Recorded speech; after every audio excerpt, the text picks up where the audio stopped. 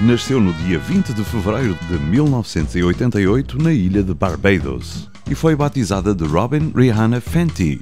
A cantora de RB teve uma estreia absolutamente fabulosa a nível mundial com Umbrella em 2007, numa parceria com Jay-Z, e essa música foi a que mais tempo se manteve em número 1 no Reino Unido no século XXI.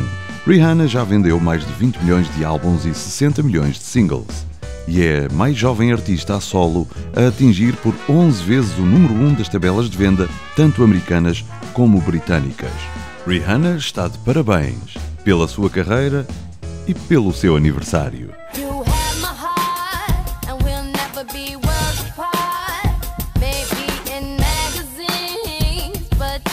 Never